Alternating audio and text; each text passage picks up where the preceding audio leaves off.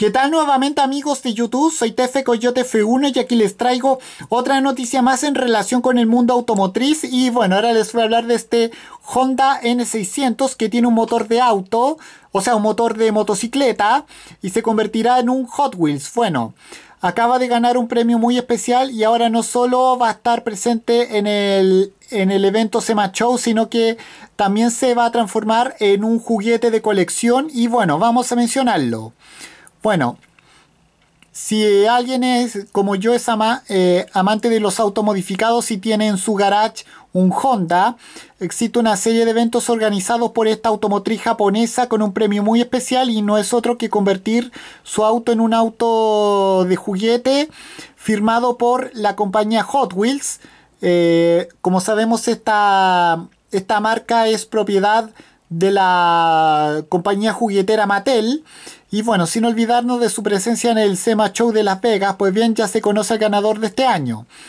Dichos eventos a los que se hace referencia aquí se engloban dentro del denominado Honda Super Tuner Legends, con una extensión del Hot Wheels Legends Tour eh, realizado anualmente. Bueno, miles de aficionados llevaron sus modelos japoneses modificados con el fin de formar parte de los cuatro finalistas que compiten por el título Honda Super Tuner.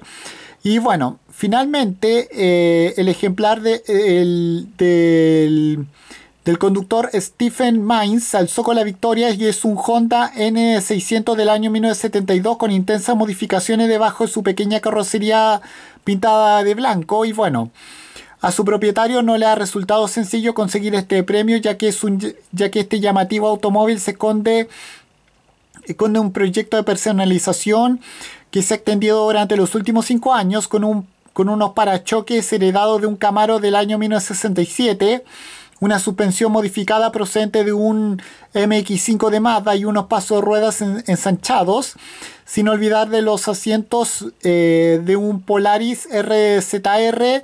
Este N600 esconde su mejor base debajo del capó. Bueno, eh, Bueno, eh, su ligero motor de aleación eh, es capaz de alcanzar las 9000 revoluciones y propulsar el auto hasta los 130 km por hora de principios de los 70.